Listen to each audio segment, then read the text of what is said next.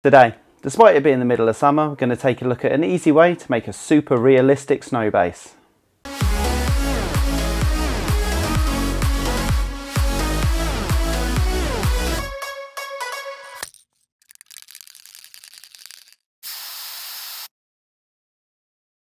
So then guys, snow bases. Often attempted, but actually quite hard to get right. There's plenty of ideas and methods out there, but today I'm going to have a look at the technique that I've been using for my brand new Custodes project. So there's no end of products on the market and plenty of ideas available of how to do a realistic snow effect with just things lying around your house such as baking soda and PVA glue.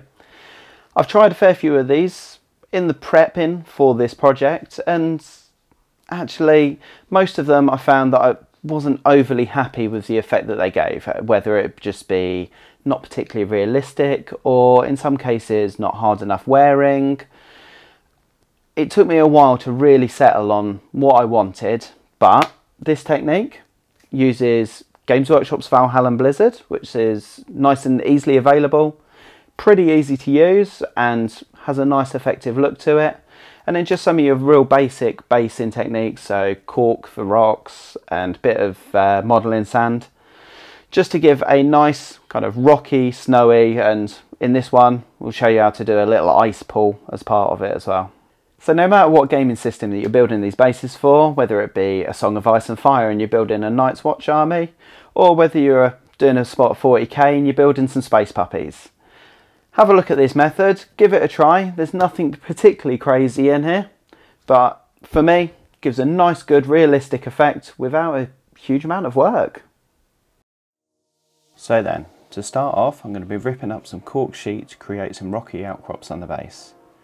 This cork sheet can normally fairly easily be found in railway or hobby shops, but I tend to pick mine up on eBay.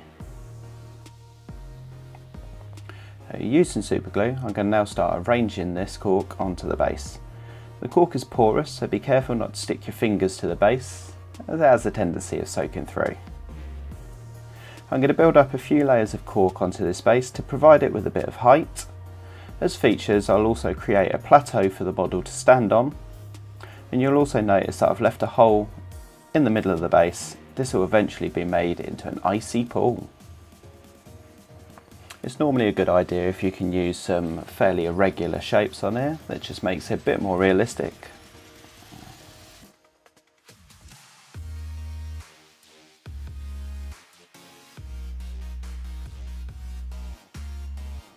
Next we're going to work on getting some texture onto the base. Grab your super glue out and apply to certain areas of the base sparingly. Try not to go overboard on this step but pick out areas where stones or dirt may normally build up and then as the super glue is setting, we'll just have a little sprinkle of modelling sand and let it dry. For the icy pool, we also need some texture for the bottom. But for this, I've used a very thin super glue and used a very fine sprinkle so as not to fill up the area. Something like Games Workshop's Astrogranite Debris would also work in small amounts. For the top of the rocks, we're going to use my favourite crackle paint. Add some Martian Ironearth in a nice thick coat to the top of the rocks and let it dry. Generally, the thicker the coats, the better the effect will turn out, but it does take longer to dry.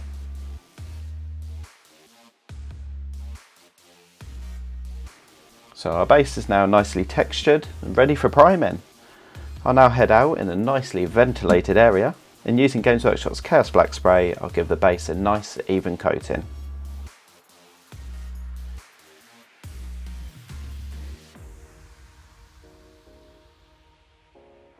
As always when spraying, there are a few areas where the coverage isn't so great, so I'll give the base a coat of Vallejo's Game Air Black.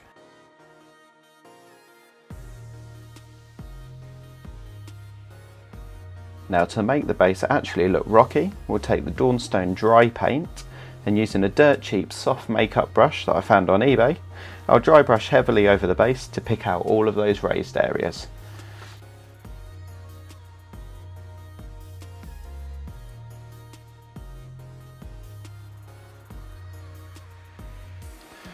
For the icy pool, we need to make it really stand out. so we're going to paint it blue. Here, I'm layering on a real thick coat of Vallejo's French Blue. I'll be blending this in a minute, so it's definitely not time for two thin coats.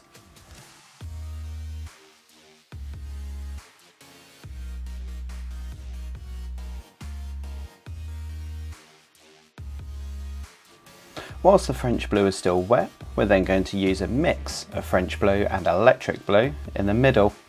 And then with a nice clean wet brush, we'll then start to blend the two tones together. This is a great opportunity to practice your wet blending skills. As for this, as we'll be covering it up, you don't need to get a perfectly uh, clean transition. So a couple of passes of this and a small dab of electric blue in the middle and we'll let it dry fully before the next step. Now we're going to need something to act as the water. There are lots of products on the market, but for this I'm going to use the AK Interactive Still Water. This is one of my favourite products for this job as I found that it sets lovely and clear and is super easy to work with. It does however shrink quite a bit so you'll need to use a few layers of this. Just make sure you let it dry properly in between each layer and as you apply it make sure there are no bubbles and then leave it set for a while.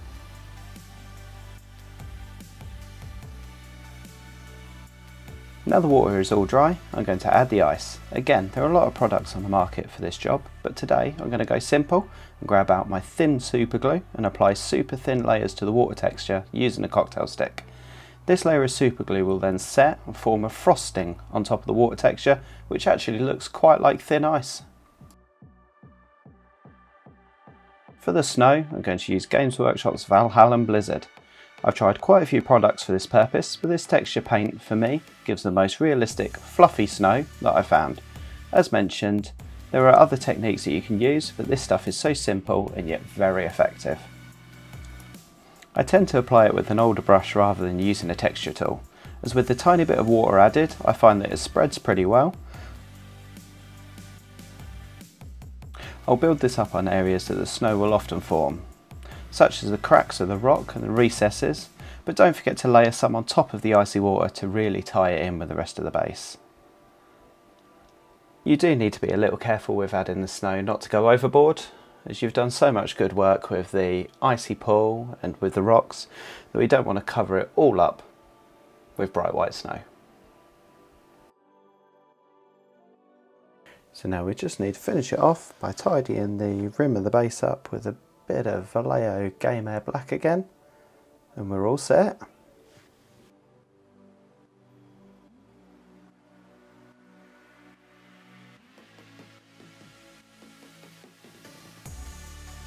And there we are, a nice simple, realistic snow base.